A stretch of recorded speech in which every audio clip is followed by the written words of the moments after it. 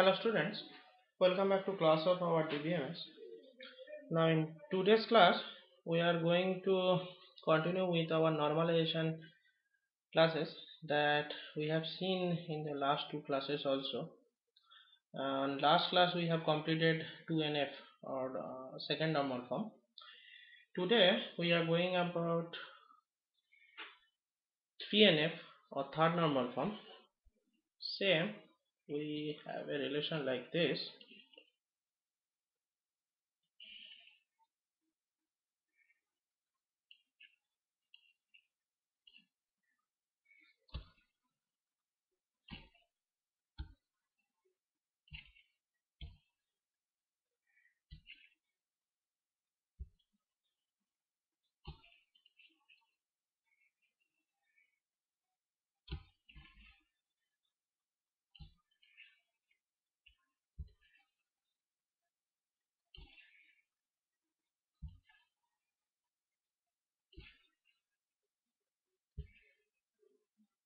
okay. This like maybe we have one relation of student.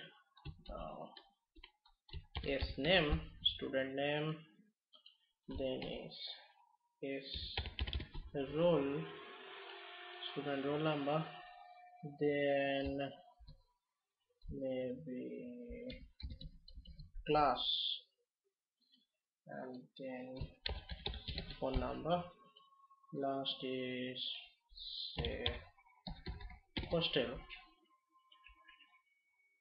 -huh. student name x student name y student name z maybe student name p roll number 1 5 8 and 9 classes maybe c1 c1 c2 and c2 phone number is something like this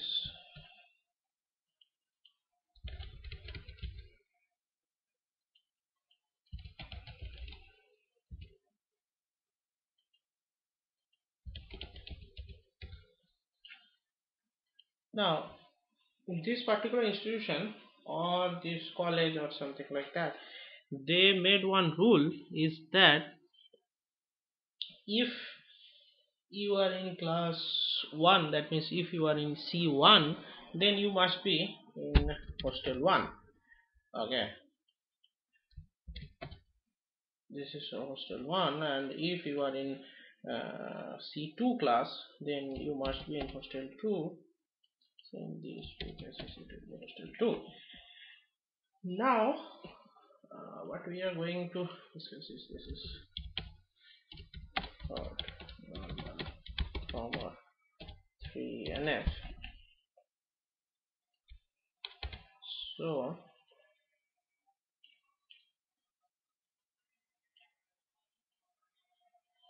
what we will do in 3nf is that we will first see that whether this relationship is in 2nf or not. Now see uh, on s roll every other field is dependent because for a particular student roll you can have only one name class phone number and uh, hostel but here this postal is dependent on uh, this class.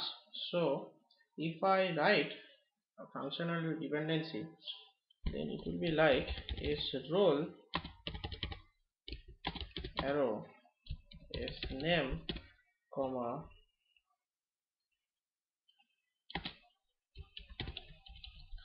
class comma phone.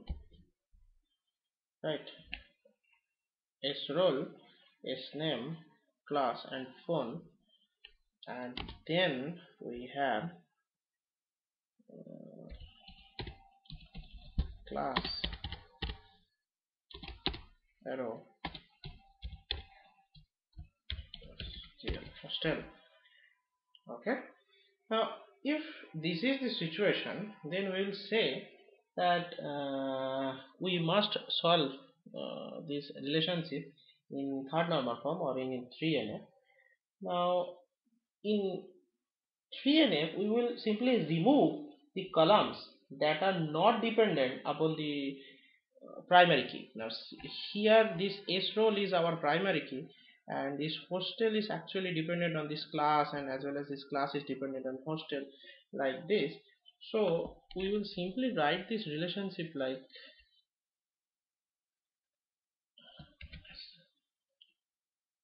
it will be like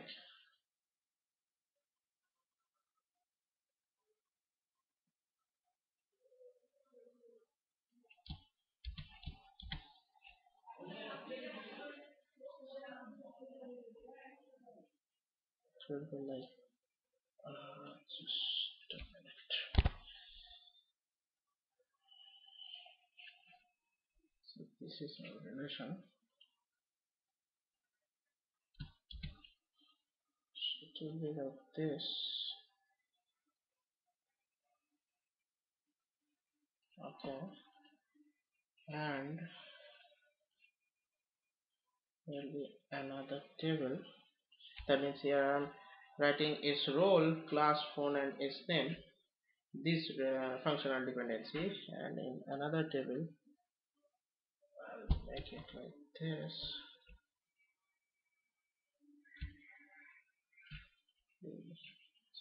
That is class and hostel. Class and hostel and uh, it's only two class. This c1 c2 h1 and h2 okay. So now this relation is in 3NF so we'll simply uh, remove the column that is not dependent on the primary key and we will have our 3NF okay I think this concept is clear to you. Thank you